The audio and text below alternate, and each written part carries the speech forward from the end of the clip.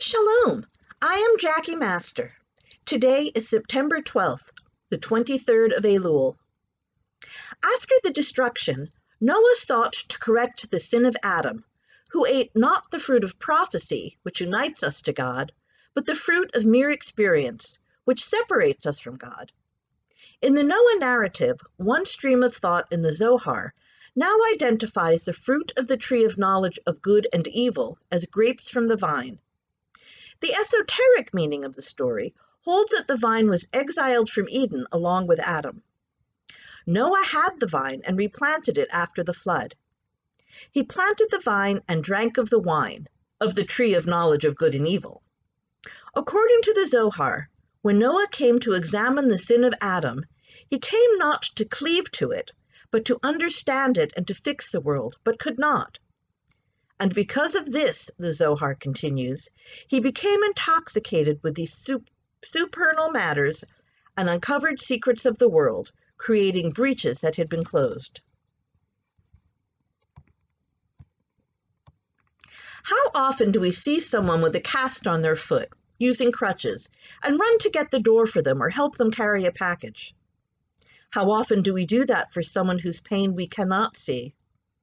So many of us deal with private pain of some sort, be it physical, spiritual, or emotional. Yet we go through our lives with our outward face on. Many people deal with mental health issues on a daily basis, which can impact every aspect of their day to day life. For people with depression, social anxieties, or other mental health issues, the simplest of tasks can be absolutely debilitating. The result of these fears and anxieties is pulling away from the world when it isn't absolutely necessary to deal with others. The shame causes them to turn inward and keeps them from seeking help, leading to their issues being heightened. In this age of COVID, we are doubly masked, wearing a physical mask over our game face. The death of a loved one is also something that causes pain. At the beginning, people are there to console you, but there are those who feel they can determine when you should be over your grieving. For some, it takes months, some years, and some never get over it.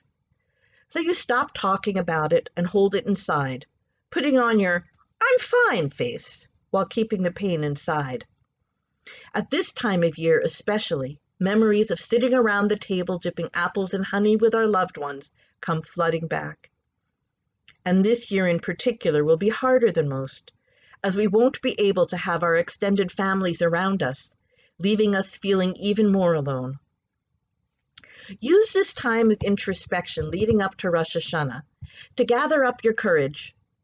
During the holy days, we come together, either masked and socially distanced in person, or streaming services online, and cry out in Psalm 27 Hear, O Lord, when I cry with my voice.